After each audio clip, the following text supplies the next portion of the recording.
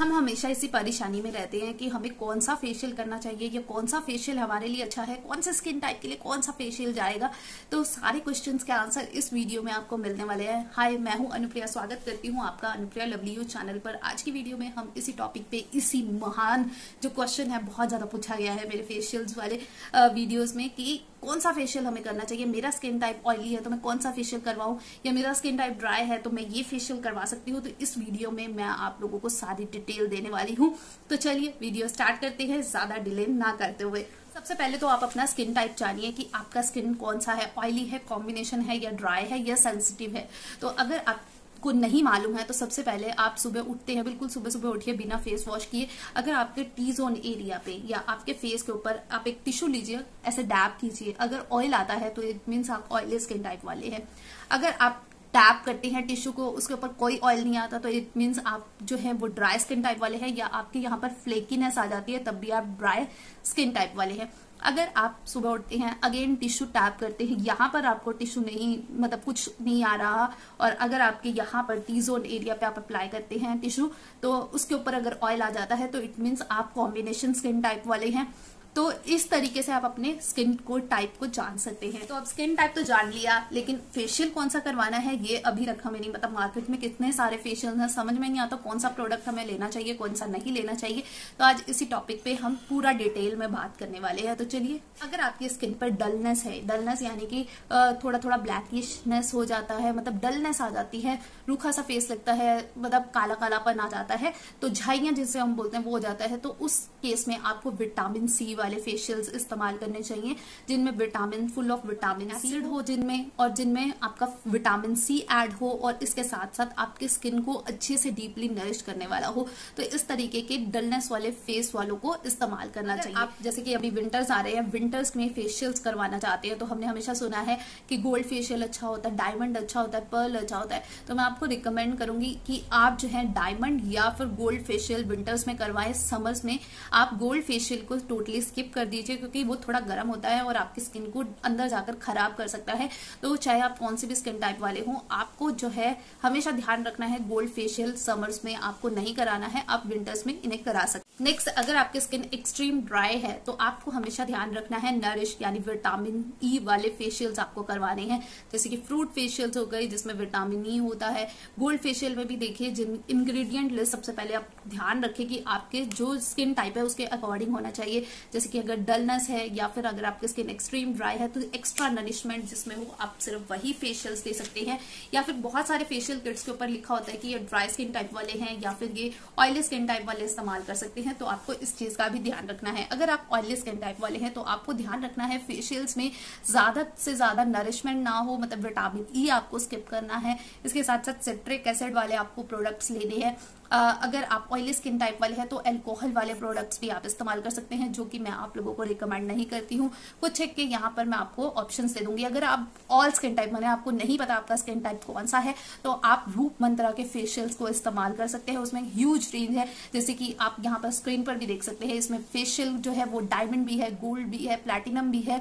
आपको huge range मतलब आपको चारकोल वाला भी मिल जाएगा। काफ़ी ज़्यादा फेशियल्स आपको यहाँ पर मिल रहे हैं।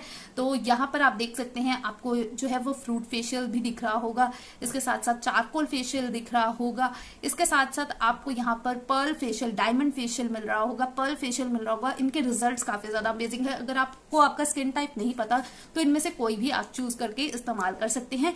डिपेंड कि आपको कैसा ग्लो चाहिए। वैसे रिज़ल्ट इनमें से सभी के काफ़ी ज़्यादा अच्छे हैं। अगर आप ऑयली स्किन टाइप वाले हैं तो डायमंड फेशियल आप लोगों के लिए एकदम परफेक्टली काम करने वाला है। डीपली आपकी स्किन में जाएगा और आपको एक नेचुरल ग्लो देगा। बिल्कुल भी ऑयली या पैचीनेस नहीं देने वाला है। ड्राई स्किन टाइप वालों के लिए जो है वो पर्ल फेशियल एकदम परफेक्ट होता है। या फिर आप जो है अगर आपकी स्किन एक्सट्रीम ड्राई है तो आप फ्रूट फेशियल भी करवा सकते हैं। स्किन टाइप वाले चॉकलेट फेशियल्स भी करवा सकते हैं क्योंकि उसमें एक्स्ट्रा नरिशमेंट होती है और आपकी स्किन को डीपली जाकर वो नरिश करने वाले हैं। आपके पास पिगमेंटेशन हो रही है आपके फेस के ऊपर डार्क स्पॉट्स है तो आप जो है इस्तेमाल कीजिए पपाया फेशियल्स क्योंकि पपाया जो है वो काम करता है आपकी स्किन के अंदर डीपली जाकर पिगमेंटेशन डार्क स्पॉट्स को कम करने में आपकी मदद अगर आपकी डस्ट स्किन है तो आप लोगों के लिए पर्ल फेशियल काफ़ी ज़्यादा अच्छे से काम करने वाला है।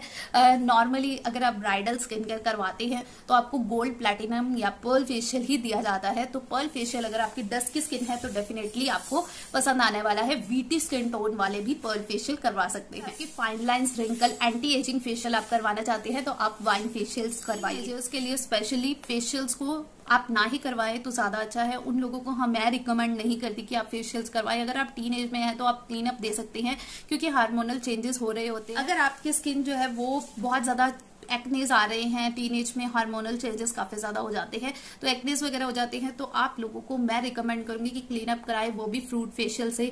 ब्लीच वगैरह अभी इतनी जल्दी मैं आप लोगों को रिकमेंड नहीं करती हूँ तो आप अपनी स्किन का थोड़ा सा ध्यान रखें। अगेन अगर आप ट्वेंटी प्लस है थर्टी प्लस है तो भी आप लोगों को फ्रूट फेशियल्स ही करवाने चाहिए। फेशियल्स में आप लोगों को स्किप करने को बोलूँगी। आप यहाँ पर अगर सेंसिटिव स्किन टाइप वाले हैं तो आप लोगों को क्लीनअप्स ही लेने चाहिए, जिसमें आपको स्क्रबिंग अवॉइड करनी है। आपको ध्यान रखना है, अगर आपके फेस के ऊपर एक्सट्रीम एक्नेस वगैरह है तो आपको अवॉइड करना है स्क्रबिंग करना। आप ट्वेंटी प्लस है, आपकी जो स्ट्रेस लाइफ बहुत ज़्यादा स्ट्रेसफुल है, क्योंकि आप लोग ज़्यादा से ज़्यादा ध्यान होता है पैसा कमाने में या शादी करने में, क्योंकि ट्वेंटी के बाद ज़्यादातर लड़कियों की शादी हो जाती है या ज़्यादातर पैसा कमाने में या जॉब वगैरह में लग जाते हैं तो इस चीज़ को ध्यान में रखें कि आपकी स्किन टाइप क्या है तो फेशियल आप रेगुलरली करवाए, लेकिन अपने स्किन टाइप के अकॉर्डिंग जैसा कि मैंने पहले बोला है ट्वेंटी के बाद आप कोई सा भी फेशियल करवा सकते हैं depend upon your skin type thirty plus वालों को मैं रिकमेंड करने वाली हूँ कि आप पर्ल फेशियल अपनी स्किन टाइप के पर्ल गोल्ड या फिर डायमंड फेशियल्स ही करवाने चाहिए, ताकि इससे आपको इंस्टेंटली ग्लो मिल जाता है। और अगर आप 40 प्लस है या 35 प्लस टू 35 टू 40 के बीच में है तो आप लोगों को वाइन फेशियल करवाना चाहिए, जो कि एंटी एजिंग युक्त फेशियल्स होते हैं। अभी आगे मैं आप लोगों को कुछ एक ऑप्शन रेंज दे दूँगी, जिसमें आप लोगों को पता चलेगा कि आपको कौन से कौन से स्किन टाइप वालों को कौन से फेशियल्स करवाने चाहिए, और डिस्क्रिप्शन बॉक्स में भी आपको कुछ एक स्किन टाइप के अकॉर्डिंग जो है वो प्रोडक्ट्स मैं रिकमेंड कर दूँगी। तो आई होप आपको ये वीडियो पसंद आया होगा और आपके लिए हेल्पफुल रहा होगा। अगर हेल्पफुल रहा है तो इसे लाइक ज़रूर दीजिएगा ऐसे और इंटरेस्टिंग प्रोडक्ट्स के लिए इस चैनल को फॉलो कर लीजिए। फटमत मीन सब्सक्राइब कर लीजिए। अगर आपने अभी तक नहीं किया है तो बेल बटन को भी दबा लीजिएगा। अगर आपने नहीं दबाया है टोटली फ्री है तो सब्सक्राइब कर ले बेल बटन को दबा ले। अगर कोई क्वेश्चन क्वेरी हो तो कमेंट में ज़रूर पूछ सकते हैं। या अगर मैंने कहीं पे कुछ गलती की हो जो कि मैंने नहीं की है पर स्टिल अगर की हो तो आप कमेंट में मुझे करेक्ट कर सकते हैं। कोई और बात पूछना चाहते हैं या मेरे दोस्त बनना चाहते हैं तो इंस्टाग्राम पर फॉलो कीजिए। इंस्टाग्राम आईडी अनुप्रिया ब्लॉग्स तो मिलती फिर आपसे एक नई वीडियो के साथ। तब तक के लिए बाय टेक केयर